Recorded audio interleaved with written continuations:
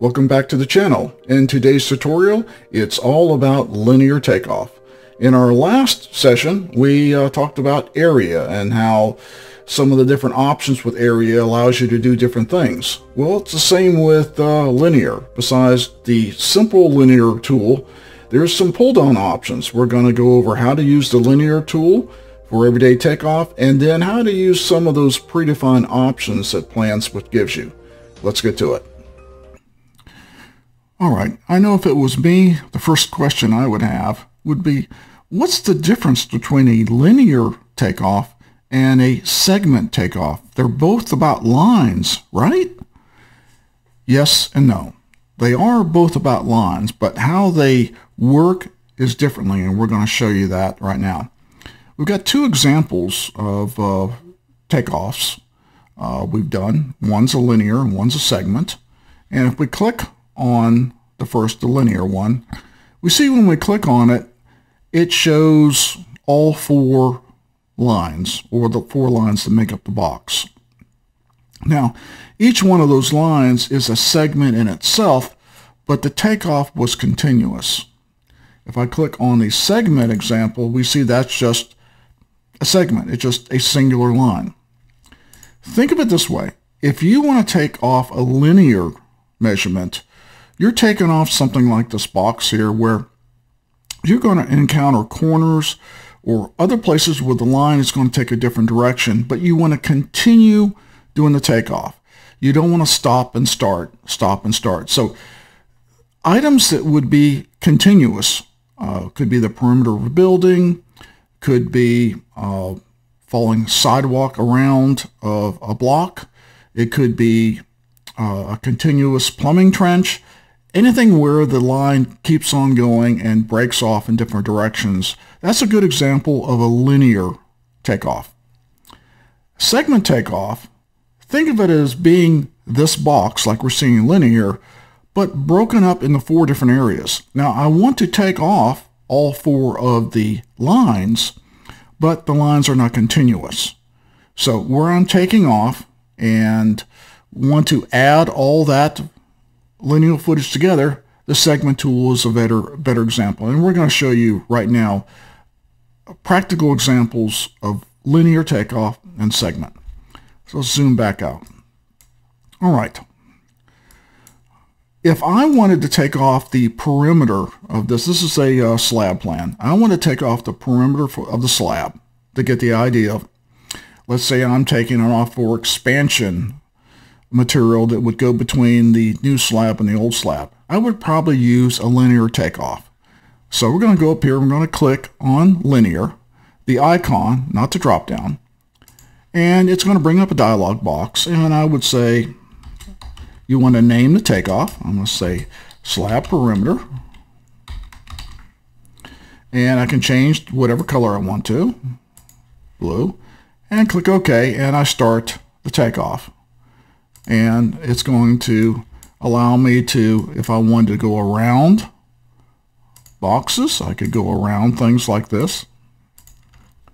I'm going to back up for purposes of this, I'm just going to create a simple box.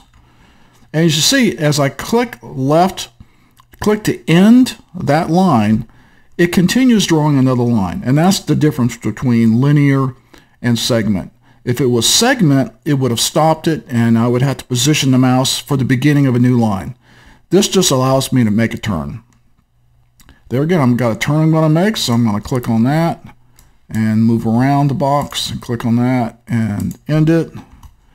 And I've got a new slab perimeter that says 191 feet or 191 lineal feet.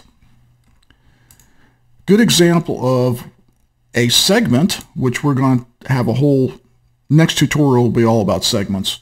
But just to show you the difference, I've got basically uh, control joints I need to saw cut into this new slab.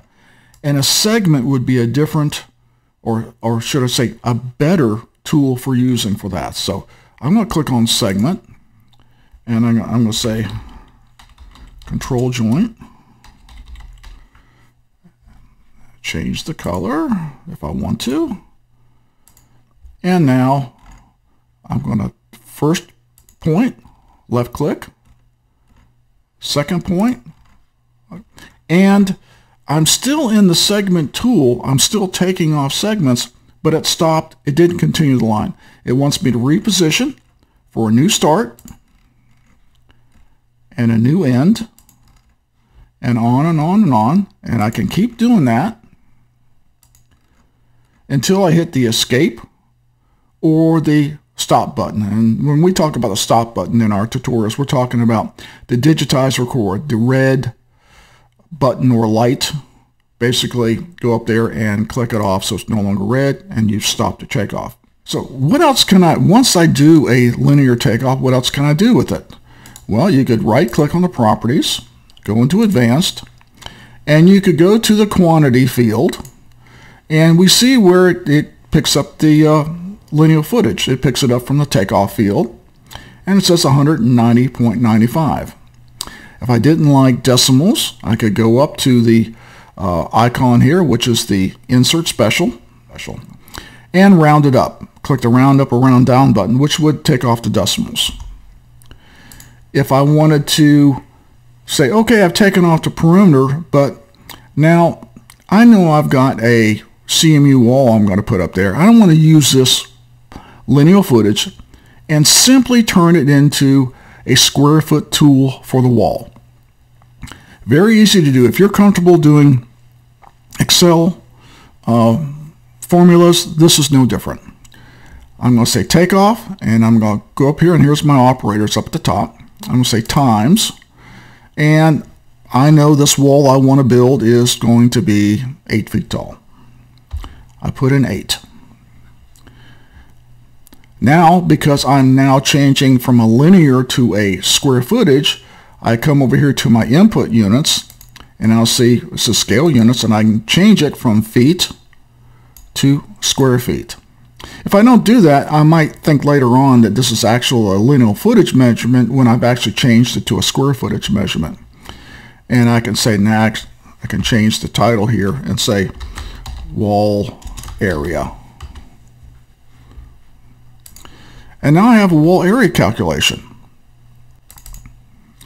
If I wanted to, uh, uh, let's say later I find out that, well, this is not going to be a CMU wall, but it's going to be a concrete, a cast in place wall.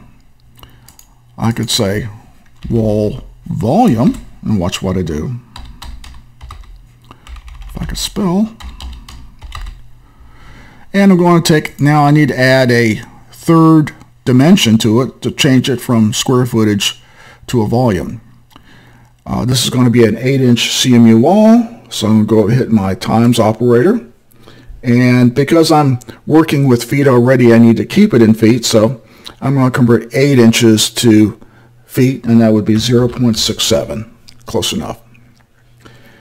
And I'm going to change the square feet to cubic feet. And now I've got 1,023.49 cubic feet of wall that what's going to be poured. My, I get a call from my uh, ready mix salesman and he says, well, how many cubic yards of concrete are you going to need? And I go like, oh man, do I have to retake this off? No. I just go back into properties and I could say rather than cubic feet, I need it in cubic yards. And watch how easy it is doing PlanSwift. Rather than, I could change the formula. Next, I could go in there and say divided by 27. Most people will know that would give you cubic yards. Or I could even simply just go over, you've got two units in PlanSwift, your input unit and your output unit, normally the same. If you want to convert from one unit to another, simply go to your output unit, click on that box, you'll see a down arrow, and just drag the bar and get to what you want, in this case, cubic yards, and it instantly changes into cubic yards. And click OK. Now over here to the side, I says wall volume 37.9 cubic yards. But for those that don't are not comfortable yet in modifying formulas in PlanSwift, then that's really what we did. we went into the properties, and we'll just go back to it for a second. And we took the takeoff, which was the lineal footage, and we put in a formula, made it into a formula that basically says takeoff times 8, which was the height of the wall, times 0.67, which was the thickness of the wall, and we, it converted it, that made a cubic foot, which we then had plans to convert into cubic yards. So how can I uh, calculate wall square footage or cubic yards of concrete uh, if I'm not comfortable with editing or creating formulas. PlanSwift gives you a couple neat little tools that's built into the version you have. You should be on version 10.3 XX, whatever the micro version is. And go into, go back to your lineal tool and pull down. We're going to skip single click linear for now because we're going to have a whole session on single click linear. But go down to click on wall area. And when you click on that, you'll get a dialog box, and it has two tabs on it. General, which it expects you to enter information, and Appearance, which is just where you pick your colors and things of that nature. So we're going to pick a different color. We're going to pick red. Go back to General. Now, for this to work correctly, we do have to enter some information. So under wall height, it gives some pre-selects 8, 9, 10. You can override that by typing in your own. Let's say it's 9.5 feet. You can type that in. This is just a convenience for pulling down and, and picking the height of the wall. Uh, number of wall sides. Well, what is that all about? On an interior wall, where you may have a wall come out, like for your dining room, it may have sheetrock on both sides. So if you're building a wall, and that's what we're doing here, and you've got sheetrock on both sides, we would change it from one to two. Now we're not going to do that on this, but that's it simply doubles the square footage. It's really all it does. So if you got a two-sided wall, you pick two. You got a one-sided wall, you pick one. And then the width. The width has some predetermined sizes in here, and we're going to go we'll click five and a half or 5.5 and click OK. And now we're going to draw what should be a sheetrock wall. And we're just going to follow what we've done. And you see as I click on the corner, a, a linear measurement is going to keep in that mode of wanting to draw a line each time I click until I press escape or stop. Now that we've drawn these walls, we can see that these lines are thicker than the blue lines we did before under just the basic linear tool. And that's because this particular tool is drawing the wall, the thickness of what you said the wall was. And that's so you can better place it. If we had told it it was a 12 inch wall, then basically you would have drawn the line even thicker. And those thicknesses of lines are determined as a parameter in your advanced box. You can change the way the line shows up in the center, left, right, and you can also change the width of the line should you want to. But right now, if we look to the our navigation, now it says wall area 1527.6. And we didn't have to go and do anything in the uh, formulas. It already, this particular one is already built for, for calculating wall area. The other pull down we've got would be a good tool for using if you were having to uh, figure out uh, concrete. You, you're a poured wall contractor and you're taking off uh, cast in place walls and you simply want some, a simple tool that's basically going to tell you how many cubic yards or volume do I have. So we click on the linear tool, we go to linear cubic yards, and a few different questions than before. There's no more, it's not questioning about how many sides of the wall it is, but that's really more for uh, sheetrock contractors. This basically asks you to name the wall. So we're going to say CIP interior wall. It wants you need to give it say what height it's going to be. So we're going to say this wall is 10 feet tall. And the width. What is the width of the wall you're pouring? We're going to say 8 inches. We can change the color once again to whatever color we want to and click on OK. And once again, we're back in our linear tool mode where we're going to start, click on the first and second click is going to continue. And you can see this time that our line is being displayed thicker than before. And why is that? Because we said that this line is 8 inches. The other line was uh, 6 inches, I believe. No, 5.5 inches. So now, this particular takeoff, and we did virtually the same takeoff all three times, this now tells us we got 47.1 cubic yards. It's a little different than our other wall volume one we did, but we give it different parameters. So basically to recap, if you're just doing a simple linear measurement where you want to click through the corners and keep on measuring, because whatever you're measuring is continuous, then the linear tool will do, you just fine. If you need to calculate wall area, then by answering a few questions, you will have your wall area. And even though I think this was set up initially for sheetrock contractors, uh, you could just as easily use this tool for uh, CMU or other kinds of uh, interior walls. And of course, the linear cubic yards would be great for doing any kind of concrete walls.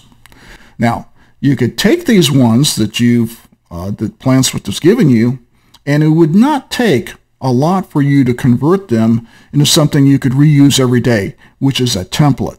And when we get into our advanced features, we're going to show you how to how to take off something using an original PlanSwift tool and then make that into your own template so you can reuse that over and over and over and save yourself a lot of time, as well as being able to set up your your unit pricing or whatever or whatever costing that you have for those items. So just remember, if you want to draw, measure continuously a line, your linear is your best choice. If you're measuring lines that are not connected to each other, then segment is your next choice. See you next time.